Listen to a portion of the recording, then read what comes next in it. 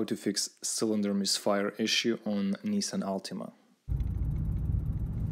One day while I was driving, all of a sudden my car started shaking and the check engine indicator light came on. The car would shake the most around 1500 RPM and at the speed between 30 and 40 miles per hour.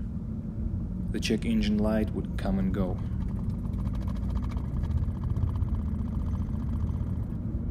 I've scanned the car using diagnostic tool and got the pending error code P0302, which means a cylinder misfire. Cylinder misfire can be caused by various reasons. I'll show you how to diagnose and fix only one of them, the one that is probably the most easiest and cheapest to fix. Last two digits of the error code indicates what cylinder is not firing properly. This number can be anywhere from 1 to 12 depending how many cylinder does your car have. In my case, this was the cylinder number 2. Also, if you are getting the error code P0300, it means you have a random misfire. It can indicate an intermittent, random, or multiple misfire.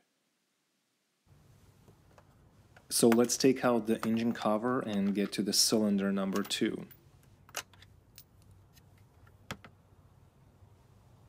On this Altima, cylinders are numbered from left to right, so the cylinder number 2 is the second one from the left.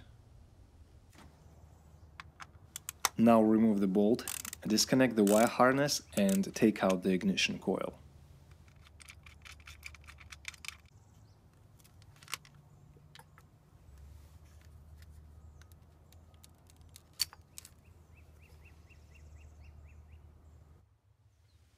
To eliminate the problem, I erased the pending error codes and then swapped ignition coils number 2 and 4.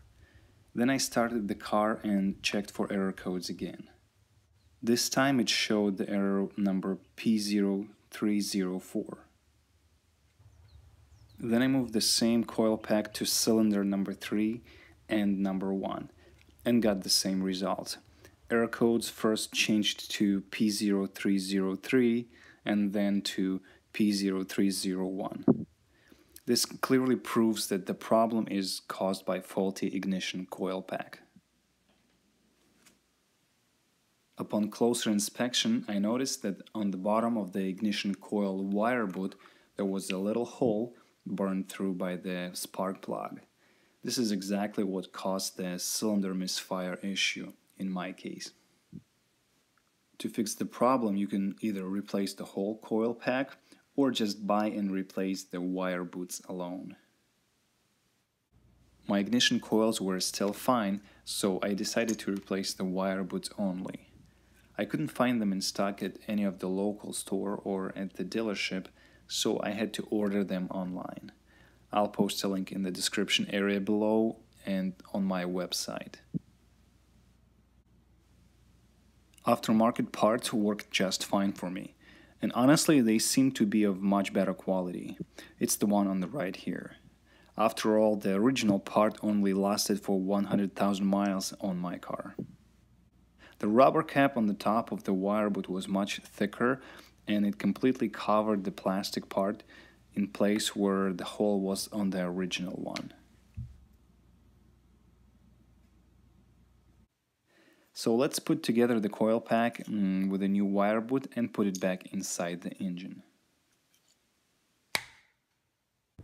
Also, I recommend to replace all four of the wire boots or ignition coils at the same time.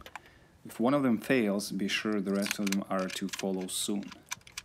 I ordered four of them but replaced only one just to see how soon the rest of them are going to fail. Sure enough, the rest of them failed within the next three months.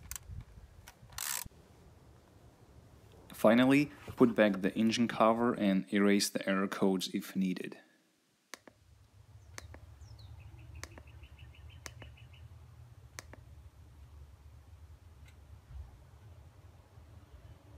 This is it. Thank you for watching. If you like the video, please give it thumbs up and be sure to subscribe for future videos. Leave your comments and questions below and have a great day.